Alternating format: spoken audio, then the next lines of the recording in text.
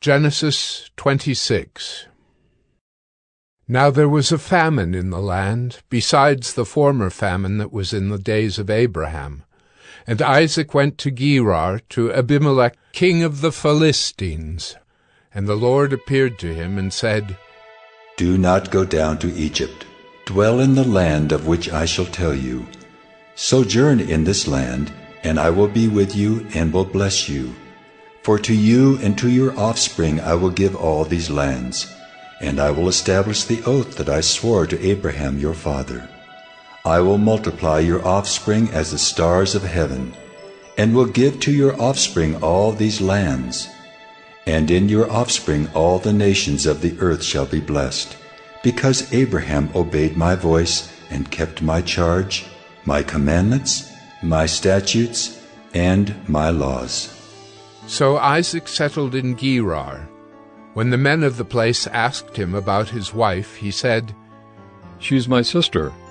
For he feared to say, My wife, thinking, Lest the men of the place should kill me because of Rebekah. Because she was attractive in appearance.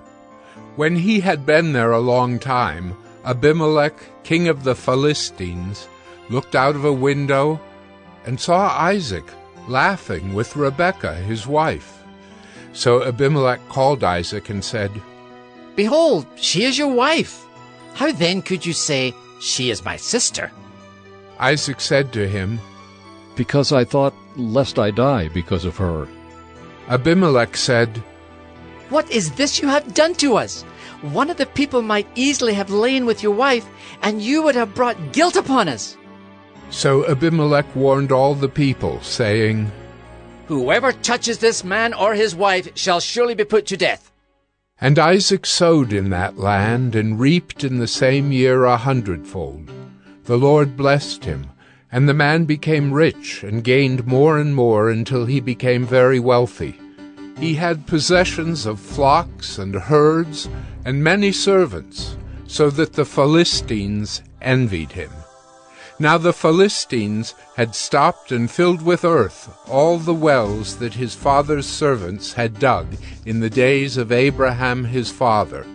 And Abimelech said to Isaac, Go away from us, for you are much mightier than we. So Isaac departed from there and encamped in the valley of Gerar and settled there. And Isaac dug again the wells of water that had been dug in the days of Abraham his father, which the Philistines had stopped after the death of Abraham.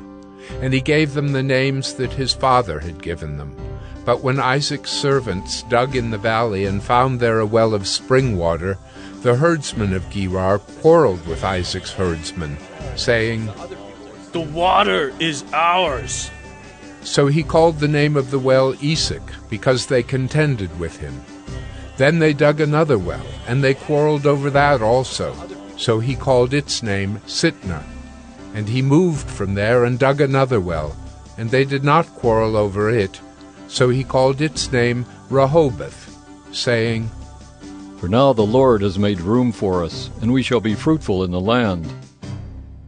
From there he went up to Beersheba. And the Lord appeared to him the same night and said, I am the God of Abraham your father.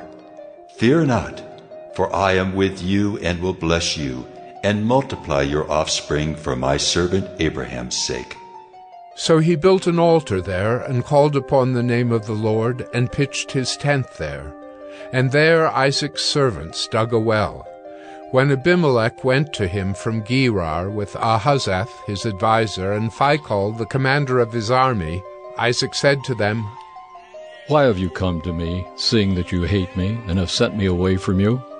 They said, We see plainly that the Lord has been with you. So we said, Let there be a sworn pact between us, between you and us, and let us make a covenant with you, that you will do us no harm just as we have not touched you and have done to you nothing but good, and have sent you away in peace. You are now the blessed of the Lord. So he made them a feast, and they ate and drank. In the morning they rose early and exchanged oaths. And Isaac sent them on their way, and they departed from him in peace. That same day Isaac's servants came and told him about the well that they had dug, and said to him, We have found water.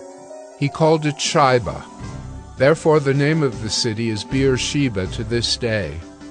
When Esau was forty years old, he took Judith, the daughter of Beeri the Hittite, to be his wife, and Basemath, the daughter of Elon the Hittite, and they made life bitter for Isaac and Rebekah.